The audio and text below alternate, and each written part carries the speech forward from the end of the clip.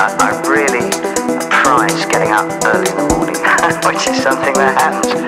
Um, I now find uh, for years now I've gotten up regularly at six in the morning.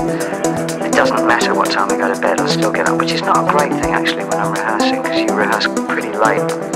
But I still get up at six. I enjoyed the fact of seeing the light come up with me and then utilising the daylight and what it brings and the kind of message that it brings. It's a different message from when you're living in twilight hours. And things get very uh, symbolic representationally. If you live through the twilight hours and the early hours of the morning, it, you, there's some kind of there's a shadow to your life all the time. Uh, psychologically, you're in the dark as well as physically in the dark. And it's something that I find very uplifting and uh, uh, optimistic and creative about working and being very much in the daylight.